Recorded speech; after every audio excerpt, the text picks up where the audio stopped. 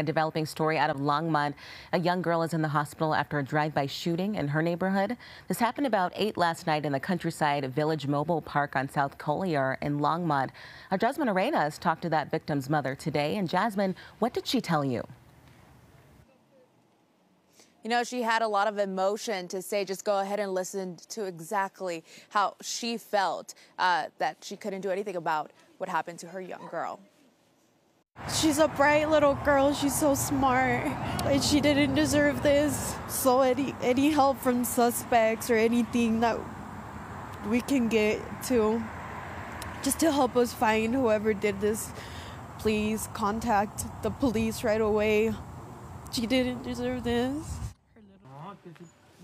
Now we're right at the location. Now we're right at the location where this incident took place, and you can see dozens of bullet holes penetrated the walls of this home, and you can also see that their front door is all boarded up. Now Longmont police video uh, sent us body cam video that shows just moments when they arrived to the scene. The suspect or suspects are unknown at this time, but investigators say they were in a dark colored sedan when they began firing multiple rounds into the home.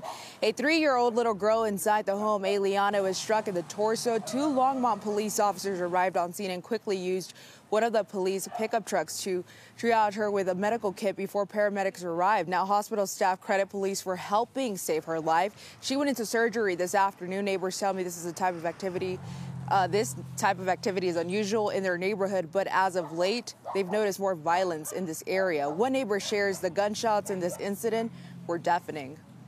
It was maybe about five went off, and then I don't know if the gun jammed on him, and then it stopped for a while, and then all of a sudden it just kept going. I counted 15. The neighbor said he thought it was 12, 20.